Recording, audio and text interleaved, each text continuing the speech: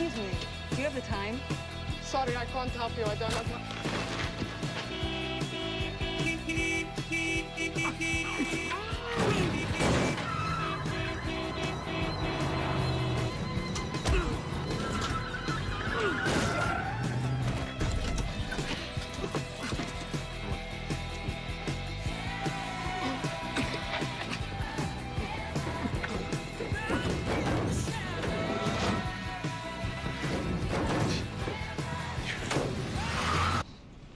We'll just put a bullet in your head.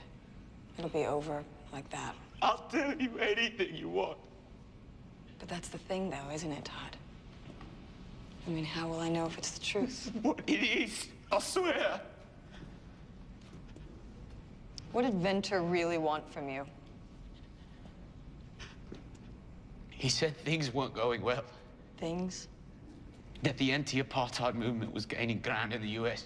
So, Todd, what did he want you to do? To set a bomb on the GW campus.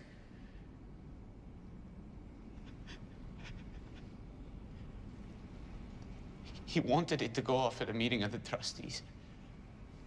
The GW has a lot of money invested in companies doing business in South Africa. The student group protesting apartheid would be blamed. A major victory for South Africa and a big setback for their enemies, he said. And you agreed to do it.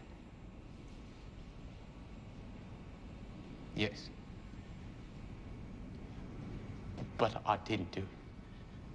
I didn't do it. Venter gave me the bomb and I never said it. I never placed it. I couldn't, I was afraid.